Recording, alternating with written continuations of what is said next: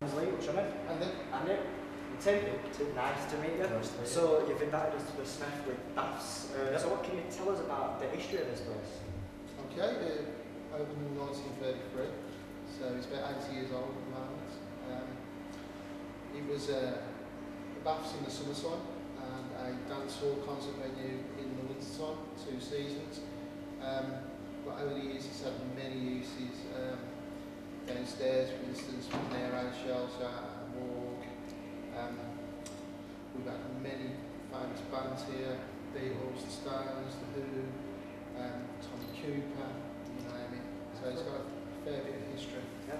So you've had some experiences here then? Uh, Yeah, I've uh, been fortunate enough to investigate this place since 2008. Mhm. Um, the experiences that I've had vary from hearing people talking to seeing physical phenomena. Okay. We've had objects thrown Mhm. at us when we've been talking about different charity events we do as well. Alright, cool.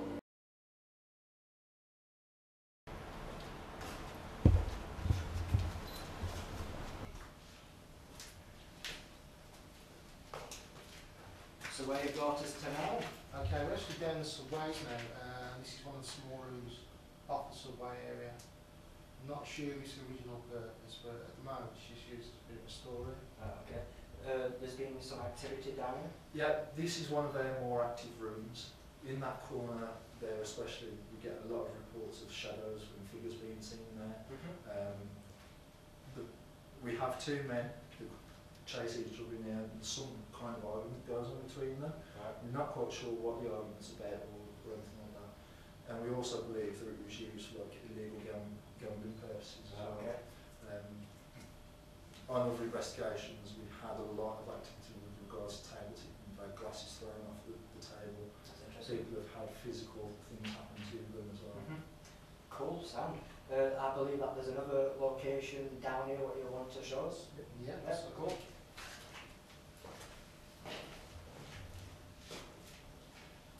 Right, so we just took a short walk and we've come to this uh, this different looking structure of a room. So what exactly is, is this room for? Okay. Uh, not its original purpose, but its purpose during the war was an air raid shelter. You can see just by looking around all the reinforced concrete made an ideal shelter. Public shelter, um, we know that the uh, general public shelter area as well as uh, American air crews from the base that was over the road. Um, we know that interrogations and uh, air also took place down here as well. Okay, it's interesting. Uh, so where to next? We'll, we'll take you to the wall. It's Nice. not cool. Right, so you've got us to Telemorg. So what activity goes off down here? Again, the activity in here varies. Um, we do have presence of a male in here who, from descriptions that we've been given by various mediums that have visited here, his appearance is like really scruffy. Mhm. Um, it's believed that he was linked to some form of, of secrecy, some form of secrecy. Um, he doesn't like people coming in this room particularly. Uh, we've had full apparitions seen in here where figures appeared in front of people. Um, the back part, we've had a lot of people hearing voices over there. Hmm. Um, things are being thrown from over there as well. So again, it's. Hopefully something happens on the night. I believe there's just one more bit down here for to show, show us. Yeah. If you want to lead the way. Right, so where are we, are we now? Now, this is just a part of the subway system, just another small storeroom, as you see. It's and that store at the moment. It's uh, it's all connected to the bit of the subways. Yeah, so there's something about the fire training service or something that, what's been done here during training sessions and they got a bit spooked. Um, when we've had the fire training happening, what they do is they turn all the lights off so it's pitch black and fill it with smoke. So the new trainees have got an ideal situation to train in. And we get a lot of reports from them where they say they've heard or seen children down No, here. okay. And obviously because it's public building, children wouldn't be allowed down here. And these firemen won't come back to, to do these training sessions. like We, have some people that refuse to come back in, uh, things that they've experienced, but it, Sure. it is mainly children. Yeah, cool. Well, hopefully we can capture some, some evidence of this. There's mainly contractors at the moment who won't come down. Uh, Yeah. we've got a list of contractors who won't come and work down there.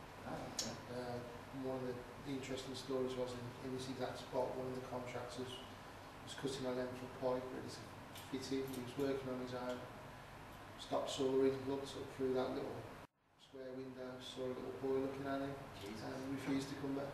God, that's pretty impressive, isn't it? Yeah. Nice. This is the uh, small door subways, which was a, a later extension to the main subways. This was actually built in 1967. Oh, okay. So is there some activity? What happens there? Yeah, this is uh, one of our, again, quite active one of the spirits that we, we know is here is a gentleman. It's believed to be a Dutch spy who was working Okay. with the Germans, which we've been able to find out through various mediums and seances. Um, not a particularly nice person. On previous investigations, we've had people where they've physically been punched by him in the stomach, and it's literally where people have heard somebody running, and then somebody's gone straight over. Um, very interesting bit of phenomena that I personally saw was in up the corridor there, in the pitch black, no one was up there, we saw one blue foot coming towards us. Cool. Kind That's pretty odd. So, because of what you do through day, do you have staff who actually experience things? Yeah, we do, yeah. Um, it has become a, a bit of a norm Mm. to staff, especially with the children. Quite a few Yeah. lady staff see uh, girls running around. There is a prominent little spirit that runs around called Emily. She's about Alright. age and she does show herself quite a bit to um, to people, and has got a, a kind of association with the girls that come down here. Nice. Doesn't mean that they're not freaked out by it, but they Oh, are kind of used Oh, to it now. We'll be pretty freaky, yeah. So, where do you want to take us next? Okay, we'll have a look in the sauna if you like. Yeah, that's fine, cool. Right, so where have you brought us to now then? Okay, this is the uh, sauna suite. Okay, so uh, what goes off here? Okay, uh, perhaps one of the oldest stories that we got about the building was uh, many years ago, probably about 20 years now. Uh, we had a, a ladies' only morning. Uh, there was a lady sitting on one of the lounges all by herself reading a magazine, a little bit bored, nobody else had been in all day. Uh, and then she saw another lady walk in with a, an orange towel round her, walked straight past her. The lady said, good morning, no reply. The lady walked straight into the sauna, sat down. So the lady thought, right, I've got somebody to have a chat with now. So she got up, walked in the sauna, and when she got in there, there was nobody there. Pretty, pretty cool, isn't Yeah. But the, the interesting fact was the fact that she wore an orange towel, Mm. um, and 20 years prior to that, orange towels were part of the uh, the hire towel system that used to be here. So they used to give all sort of customers an orange Okay. towel. Cool, yeah. So whether that ties in or not, who Oh, knows? cool, yeah. So, have you had hot spots, cold spots, and stuff like that? I know it's generally warm in here, but you know, have people experienced anything in that thingy, in that nature? Sometimes in the toilet area Mhm. it is particularly cold for some Right. reasons, and other times it is like a quite a normal heat. So Right, cool. Which would you say is the most active place? I'd say downstairs. Yeah, downstairs. I believe. Uh, I believe there's one more bit. Is the upstairs balcony? Yeah. Yeah. Cool. This is the uh, main hall balcony. Right, cool. So, is there activity on up here? Yeah, yeah. We've um, when we lock up on the building, sometimes um, in the nights you can hear kids running around, and you lock the door up and you think, oh no, I've locked somebody out.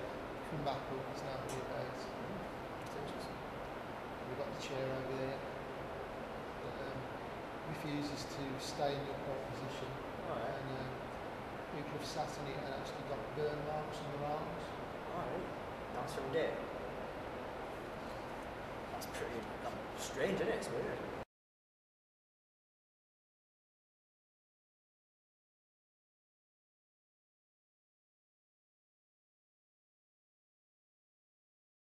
And say, in my mind's eye as we come here, I sort of said, right, I want to, can we go this way? Because I felt like somebody walked, a male presence walked down here and that way. So we- we've come down the corridor on the main area. As we're walking down, I don't know whether you saw on the camera, but I felt drawn to an area on the other side of the one of the dark rooms there that we can't get into. We've come in here. Now when as um, Dave and Lee and you guys were doing a walk around we spent some time quiet um, just spent some time thinking. Um, and you actually saw picked up on something and there's two brown doors somewhere in the building and it have one of them radiators there. And Andrew's just pointed out, them radiators are there. So, there's one somewhere in the building. So if, but when we get to that room, Yeah, oh no, it's, it's still in my head we'll now. know because you've actually Yeah. seen that in your mind. Now, just for argument's sake, we could just be saying that, but you were actually with us when we spent some time in a room and you heard what we were discussing, so there's nothing really significant at the moment, we just know that they're the radiators that you saw, and obviously they are here in the building somewhere, so. It wasn't here that I was drawn to, it was actually other side of that wall. I was stood here, uh, corridor, there'd be a door there, then uh, one of them radiators, then another door, and it, what I've seen gone into that other door, not the first one, the second one, but there's a radiator, one of, one of them radiators in between the two doors. But you said you'll know it when we get to it. Hmm. Okay. Those radiators were upstairs in an area. Which side of the building, This side. which is, if you look The other side that where we were, from where we were. It's more or less above us right now. so from right hand side of the building, Yeah. that's where I got shown into. Yeah. So I'm not coming here because I'm particularly drawn in here. I'm coming here just because I'm nosy and wondering what's in here. But as we come in, I've got like a, a pain in my shoulder, like a heaviness, like a, a slightly heavier. It's not like really oppressive, but I do feel like there's a heavier atmosphere in here. I'm sorry. Yeah, I've got heaviness on my shoulders. Um, I do feel like it's a bit heavier in here, like the the air's thicker. Well, just for the record, although I'm laughing and saying I don't want to say what I'm picking up on here on at, the, moment because there is one particular thing that I know about the place that one of the other investigators let slip on the way down here, but I started laughing before I saw those pictures. I laughed as we were coming through that doorway already thought, right, okay, yeah, this, I know what this area